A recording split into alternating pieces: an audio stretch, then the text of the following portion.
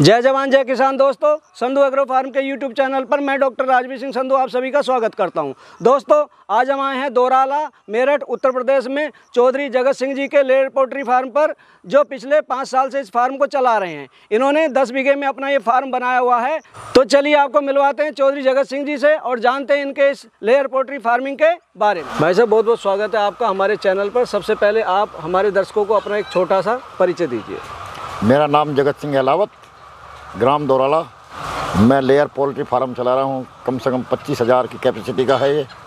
Farm चलाते तो पाँच साल हो गए लेकिन मैं पोल्ट्री फ़ीड भी बेचता हूँ 95 से। मैं इस लाइन में 28 साल हो चुके। मतलब आपका जो फार्म है ये हाँ जी। ये इसकी बर्ड कैपेसिटी क्या है और अभी इसमें कितने बर्ड हैं? बर्ड हैं बीस हज़ार कैपेसिटी है इसकी चौबीस हज़ार की। तो कैसे आया विचार ये फार्म मैं मैं इस लाइन में 28 साल हो लिए। अब लड़के की को करवाया है मैं तो ट्रेडिंग का काम करता हूँ। जो आपका ये क्षेत्रफल है टोटल फार्म का कितना है? ये दस बीघा ज़मीन है। दस बीघे में। हाँ जी। तो आपने तीन सेट बनाए हुए हैं। वो वो बच्चा पालने का है छोटे बच्चे पालने का। पहला वाला जो है वो बच्चों के बच्चों लिए बच्चों के लिए है। और ये दोनों लेयर के लेयर के हैं। काफ़ी बड़ी कंस्ट्रक्शन की हुई है। कितना खर्चा आया था इसमें इसमें कम से कम ढाई करोड़ के करीब आया। ढाई करोड़। हाँ जी। सब अपना लगाया था सब अपना बैंक का कोई कर्जा नहीं है। अच्छा। अभी जैसे आपके पास बीस हज़ार बर्ड है। हाँ जी। अंडे का उत्पादन कैसा है और किस कंपनी का बर्ड है ये आप ये वेंकीज कंपनी का है। अट्ठारह हज़ार के करीब अंडा आ रहा है। जो आप इनको फ़ीड देते हैं वो आप अपना बनाते हैं? हाँ वो अमृत कंपनी का है। तो एक जो बर्ड है एक दिन में कितना अंडा एक- वो कितना फ़ीड खाता है? 110 ग्राम। 110 ग्राम फ़ीड हाँ। खाता है। ये जो बर्ड है बैंकी का ये साल में कितने अंडे देती है मुर्गी? ये 320 अंडे देती है अपने पीरियड में। अच्छा ये बताइए आप ये काम कर रहे हैं कोई इसमें बीमारी तो नहीं आती? नहीं बीमारी का हमें खुद तजर्बा है अट्ठाईस साल हो लिए। अच्छा। कोई अच्छा। ऐसी दिक्कत नहीं आती।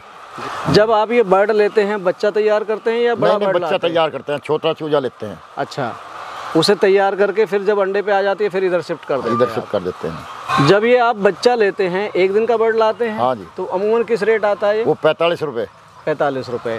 इसकी जो वैक्सीनेशन होती है आप खुद करते हैं? नहीं कराते हैं। अच्छा वहाँ से डॉक्टर आता करने? हाँ नहीं लोकल के बंदे आ जाते हैं। तो उसके बाद कोई बीमारी नहीं नहीं आती नहीं है? वैक्सीनेशन इसमें कम से कम दस बारह होती है। अच्छा एक बर्ड पे अमूमन कितना खर्चा आता है? जैसे सरकारी तैयार करने तक हाँ। तीन सौ रुपये।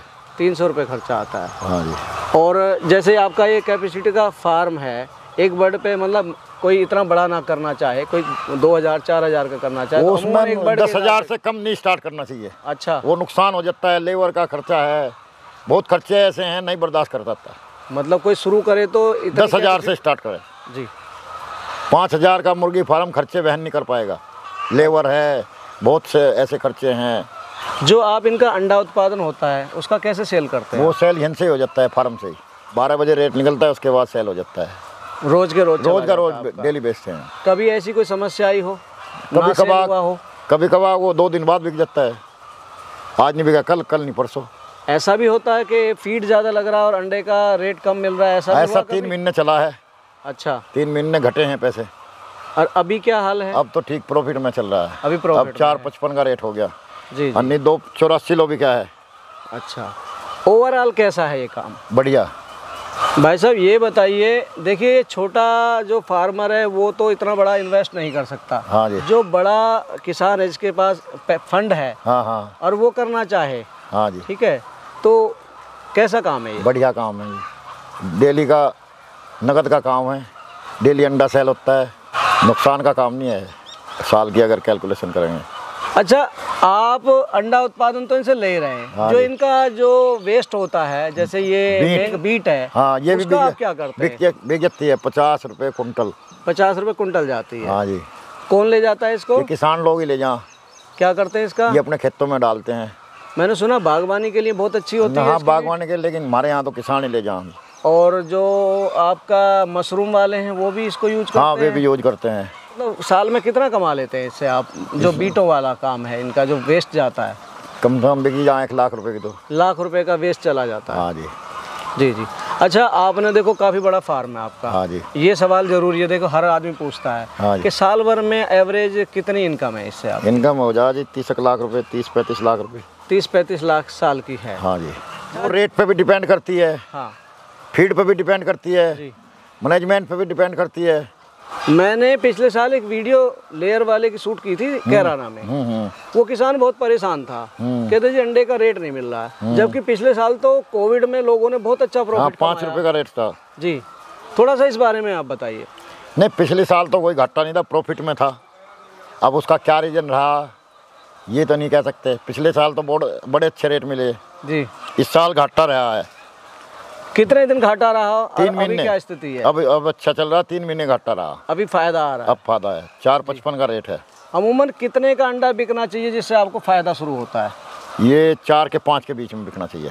अच्छा। अब चार रुपये कोस्ट पड़ता है। जी जी। फ़ीड इतनी महँगी है। अगर चार से नीचे जाएगा वो तो लॉस में जाएगा। लॉस में जाएगा। हाँ अगर उससे ऊपर है तो आपको प्रॉफिट हो। जाएगा। और वो भी डिपेंड करता है कि मुर्गी अंडे पे है या नहीं, नहीं है, है, सही और है। कितना प्रोडक्शन आ रहा है। सही है। मैन प्रोडक्शन की भी है दोनों चीज़ है रेट भी अच्छा होना चाहिए प्रोडक्शन भी अच्छी होनी चाहिए। जी। दर्शकों ये थे हमारे साथ में जगत सिंह जी, जिन्होंने आपको अपने लेयर पोल्ट्री फ़ार्मिंग के बारे में इतनी अच्छी जानकारी दी। यदि आपको इनके द्वारा दी गई जानकारी और हमारे द्वारा की गई कोशिश अच्छी लगी हो तो हमारी वीडियो को लाइक करें, ज़्यादा से ज़्यादा शेयर करें व चैनल को सब्सक्राइब करें। मिलते हैं जल्दी एक नई वीडियो के साथ। तब तक के लिए जय जवान, जय किसान।